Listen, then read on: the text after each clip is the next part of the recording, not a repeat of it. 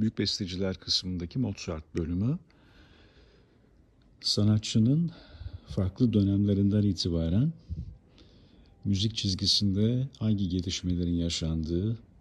iletişim halinde bulunduğu insanlar, e, sanatının özellikleri, notalarından bölümler, el yazmaları, notlar, bazı enstrümanlar, dikkat çekici başka unsurlar, sahne sanatları, bazı farklı klavyeler, enstrümanlar, nefesliler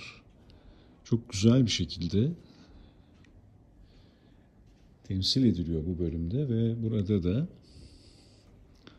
e, Mozart'ın yolculuk yaptığı ülkeler ve şehirler nerelerde çalışmalar yaptı. Keşke o dönemde bir kere de Osmanlı İmparatorluğu'na gelmiş olsaydı.